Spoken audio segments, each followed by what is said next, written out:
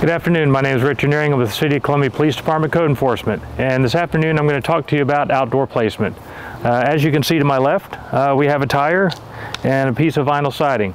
Uh, outdoor placement also covers any kind of furniture, appliances, mattresses, anything that really belongs in the house that should not be outside. Uh, a lot of what we run into is that you'll find these items on porches, uh, especially, let's say for example, office chairs that have fabric or couches that are fabric. They're not allowed on the porch because they could be a uh, harborage for rats and other pests and vermin. So anything that is a wicker based and material that's allowed outside, that is made for outside, is most ideal to have on the porch. But in this case, uh, we have a tire and once again the vinyl siding. These items uh, do not belong on the porch or the uh, side of the road. Uh, solid waste will not pick up your tires, so you have to dispose of them uh, on your own.